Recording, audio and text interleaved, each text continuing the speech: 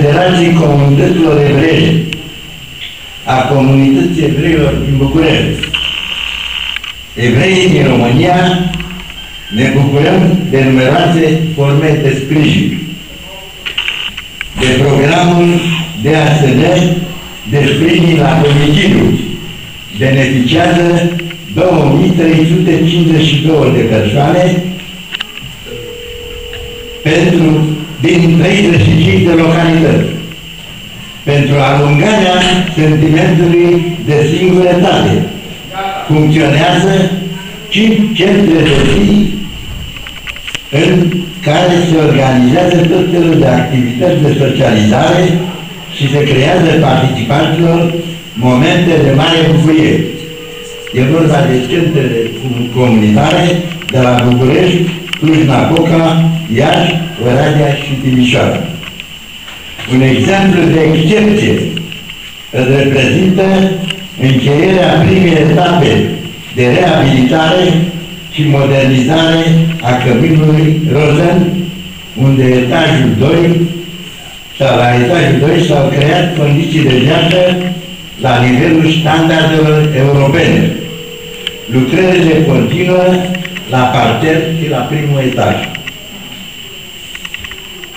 Vorbeam de momente de bucurie și aș dori ca în final să fac o remarcă la care sper să zâmbiți și dumneavoastră. După ieșirea la pensie, văd în sală numai figuri tineri. Există și pensionari printre dumneavoastră?